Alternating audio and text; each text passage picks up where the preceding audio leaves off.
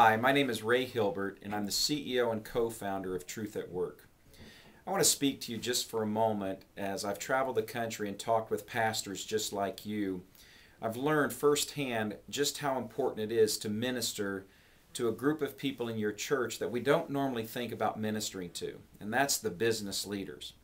Now, think about it for just a moment. Quite often, as I've talked and traveled with business leaders, they talk about their involvement with church being somewhat limited to being asked to serve on committees or be a part of a building fund campaign or maybe be one of the main financial contributors. But it's the business leaders that are some of the most influential people for Christ in the world today, especially in America in the marketplace. So we want to encourage you to check out our roundtable program and learn firsthand how it can minister to those Christian business leaders in your congregation. Now, just imagine how valuable it would be for your church to have your business leaders uh, growing in their walk with Christ, uh, having more successful and profitable businesses, and having better marketplace ministry influence.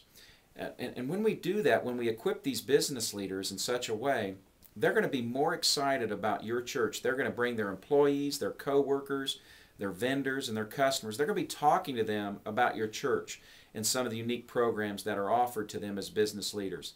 So thank you for taking the time to learn more about it.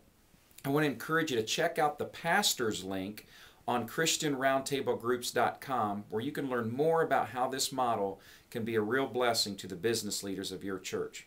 Also, if you have any questions, please reach out to us at Truth at Work. We'll be happy to answer any questions you may have. God bless, and we'll see you soon.